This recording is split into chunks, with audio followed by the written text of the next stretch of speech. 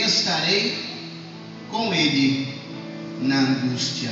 Fala para o teu irmão, Deus está contigo na tua angústia. Sabe o momento mais obscuro da vida do ser humano? O momento de angústia. O momento que a tua alma está aflita. O momento que você precisa de um amigo. O momento que você precisa de um companheiro. Nesse momento de angústia. Nesse momento que a tua alma está desesperada. Deus está contigo. Quem crê assim, irmão? Cadê o glória a Deus?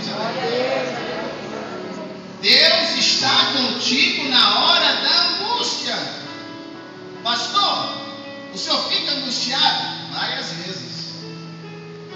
Só que quando a angústia vem, sabe o que, é que eu faço? Eu digo, Deus, tu está comigo? Tua palavra diz que tu está comigo. Então não vou temer. Pode cair mil ao meu lado, Salmo 91. Dez mil à minha direita mas eu não serei atingido. Salmo 46, versículo 1 diz: Deus é o nosso refúgio e fortaleza, socorro bem presente nas horas de angústia. Quando você está doente com a alma angustiada, o socorro chega até você, o remédio chega até você, e esse socorro lhe cura, lhe limpa, lhe regenera esse socorro trabalhe na tua vida. Sabe o que, é que o povo lá fora faz? Aí eu estou angustiado, pastor. Eu vou buscar solução na bebida. E faz é piorar mais. Eu vou buscar solução nas drogas. E faz é piorar mais. Eu vou buscar solução na prostituição. E faz é piorar mais. Só existe uma porta, disse Jesus. Eu sou a porta. Essa porta está aqui, que é Jesus. E Jesus quer mudar a tua vida. Jesus quer tirar a angústia do teu coração. Jesus quer tirar a tristeza da tua alma. Angustiado. Você não consegue orar. Você não quer ver ninguém. Você já quer se trancar, porque a depressão já vai chegando lá dentro da sua casa dentro da sua vida. Mas o Senhor manda dizer para você: tu não está sozinho. Tu vai vencer. Jesus, que era Jesus, o Filho de Deus, se angustiou. Por que, que eu não posso me angustiar? Lá no Getsemane, antes de Jesus ser levado à cruz, diz a Bíblia que a sua alma se angustiou, que descia sobre ele gotas de sangue. Interessante, irmãos. É comprovado já que quando uma pessoa é sequestrada, uma pessoa é sequestrada e ela fica com tanto pavor que o suor dela se transforma em gotas de sangue. Imagine Jesus aqui, angustiado. Aonde Jesus chegou a orar dizendo: Senhor, se possível for, passa de mim esse cálice.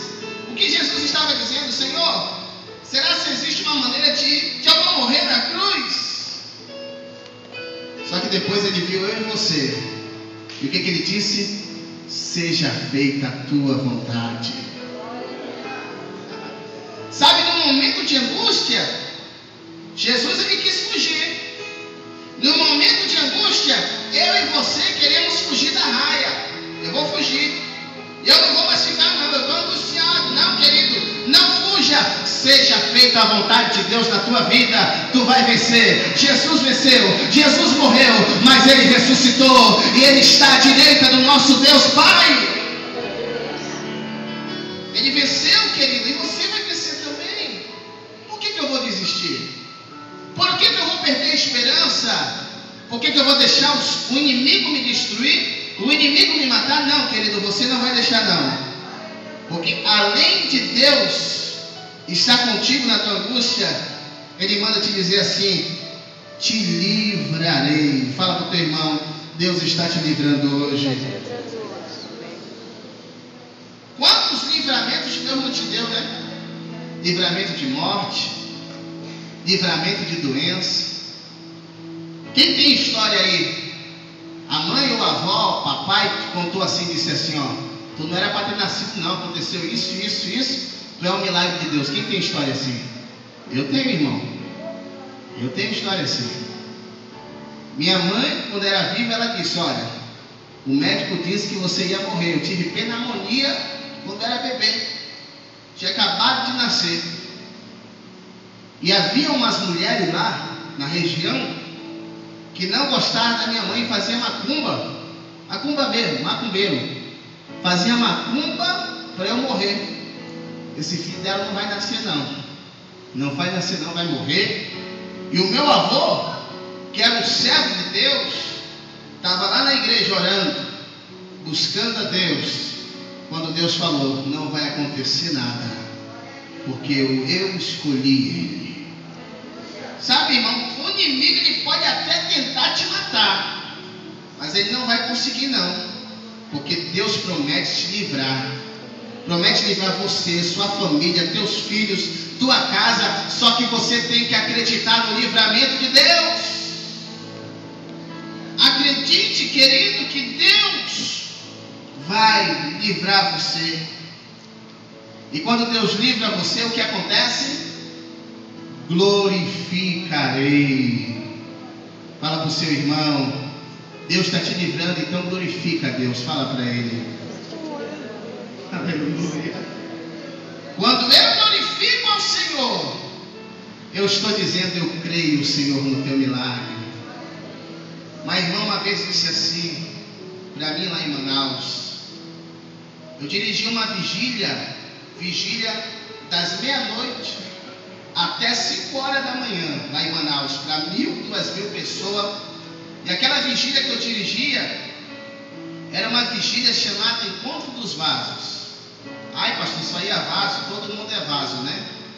Tem todo tipo de vaso na igreja. Tem um vaso rachado, vaso quebrado, né? vaso emprestado, né? vaso de barro, vaso de pau, aquele cara de pau, né?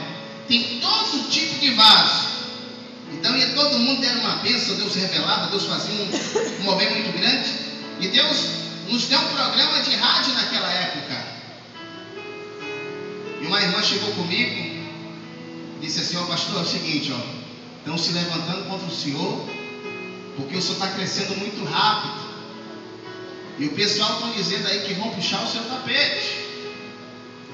Sabe o que eu disse para a irmã? Eu disse assim, glória a Deus. Ela, o senhor não vai fazer nada? Eu disse, glória a Deus. Sabe por quê, irmãos? Eu acredito no livramento de Deus. O homem pode tentar puxar teu tapete, o homem pode tentar te matar, o homem pode tentar fazer tanta coisa, maquinar tanto mal contra a tua vida. Mas quando você glorifica a Deus, diz a palavra do Senhor, Ele te livra, Ele te guarda, Ele te protege. O Senhor só quer que você adore a Ele. Há um hino que diz assim, que vocês não conhecem, mas lá na minha terra é muito cantado. Tem que dar glória na prova. Fala para o teu irmão, tem que dar glória na prova. E o hino diz assim, ó, é muito fácil eu dar glória com carro importado. É muito fácil eu dar glória com aqueles paletó de mil e dois mil reais.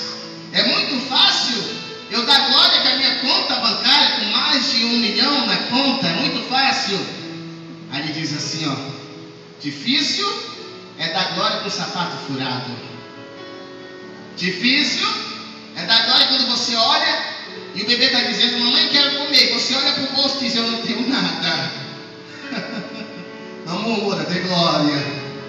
Difícil é dar glória quando, quando o seu pneu fura, quando tanta coisa acontece, quando tudo dá errado, quando os cobradores batem na tua porta, pagam o que tu estás devendo.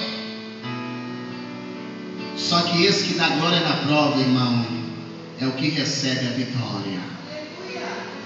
Então glorifique a Deus na prova. Tem gente que acontece qualquer coisa, já reclama, já chama altos palavrões que Deus não se agrada. Você não pode chamar palavrão, a tua boca é santa. Tu tem profetizar que a vitória é sua em nome de Jesus. Deus tem te livrado. Deus livrou Daniel da cova dos leões. Deus livrou Paulo no naufrágio que aconteceu. Deus guardou ele. Deus livrou José da morte e o exaltou.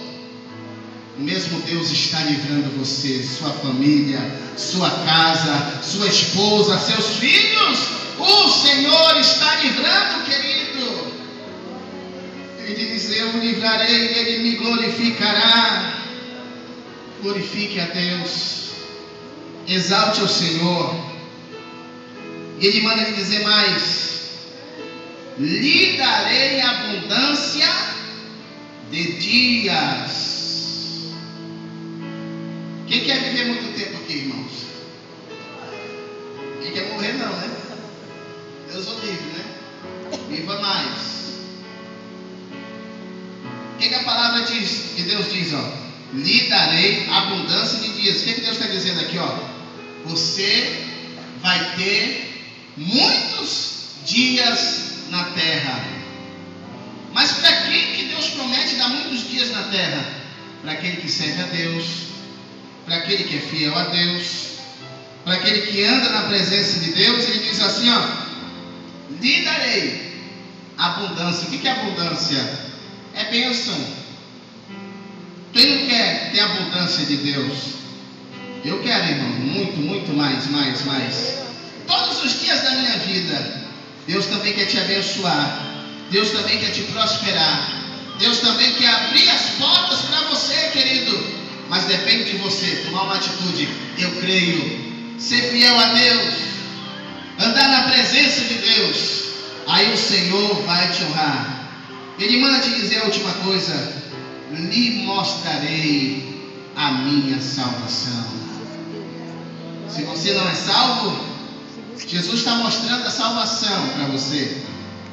Lá no livro de Atos diz assim, ó: em nenhum outro há salvação, porque debaixo do céu nenhum outro nome é dado a não ser de nosso Senhor e Salvador Jesus Cristo. A tua salvação você só consegue em Jesus. Deus tem bênção para a tua vida. Deus quer te salvar. Deus quer te libertar. Deus quer te levar para o céu, para você estar com Ele, glorificando o seu santo nome. Gostaria que você ficasse em pé em nome de Jesus.